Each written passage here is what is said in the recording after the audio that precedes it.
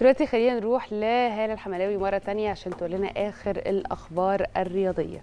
اتفضلي يا هالة. شكرا جمانة شكرا شاذلي. دلوقتي ميعادنا مع موجز لأهم الأخبار الرياضية المحلية والعالمية. مجلس إدارة رابطة أندية دوري القسم الأول أجرى امبارح اجتماعه التنسيق الأول في دورته الجديدة. شهد الاجتماع انتخاب أحمد دياب رئيسا للرابطة وعماد متعب نائبا للرئيس. أقيمت الانتخابات تحت إشراف اللجنة الانتخابية. والنادي المصري أعلن تعاقده مع باهر المحمدي مدافع الإسماعيلي لمدة أربع مواسم خلال فترة الانتقالات الصيفية الحالية. وقع اللاعب عقود انضمامه إلى المصري في حضور مجلس الإدارة. نادي زاد أعلن تدعيم صفوفه بصفقة جديدة وهو لاعب النادي الأهلي أحمد سيد عبد النبي بعقد يمتد لمدة خمس سنين قادما من الأهلي ضمن خطة إدارة النادي في دعم الفريق الأول بأفضل العناصر استعدادا لانطلاق الموسم الجديد. ونادي سموحة أعلن التعاقد مع الرباعي. محمود وحيد ظهير أيسر الأهلي وفادي فريد مهاجم البنك الأهلي وأحمد خالد ومصطفى ميدو قادمين من أسوان. واستعارت مصطفى البدري قادما من الأهلي لتدعيم صفوفه استعدادا للموسم الجديد. ونادي بيراميدز أعلن حصوله على خدمات لاعب الوسط الدولي محمد رضا بوبو قادما من صفوف نادي فيوتشر ضمن خطة التعاون المشترك لتعزيز العلاقات بين الناديين اللي بيمثلوا مصر في بطولات الأندية الأفريقية خلال الموسم المقبل.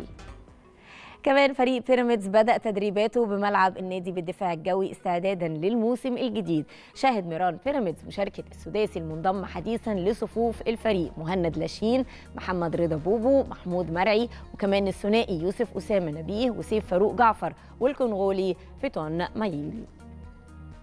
ونادي النجوم أحد أندية الدوري. المحترفين اعلنت تعيين محمد حمص نجم الإسماعيلي السابق مديرا فنيا للفريق استعدادا للموسم المقبل في إطار حرص مجلس الإدارة على عودة الفريق للدوري الممتاز مرة تانية بعد غياب عدة مواسم.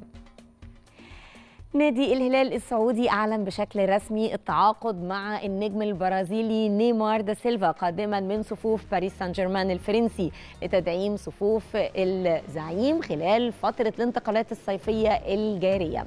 نشر الهلال فيديو تقديمي لنجم برشلونة وباريس سان جيرمان السابق قال فيه اللاعب أنا هنا في السعودية أنا هلالي.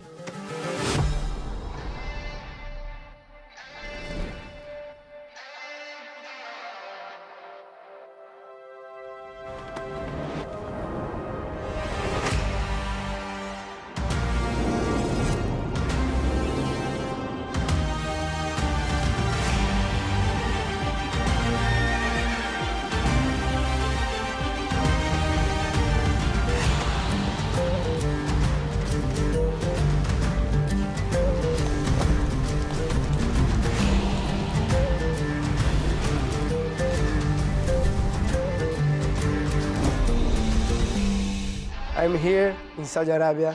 I am Hilali. مشاهدينا نروح لفاصل سريع ونرجع بعدين نكمل فقرات برنامج صباح الخير يا مصر ابقوا معنا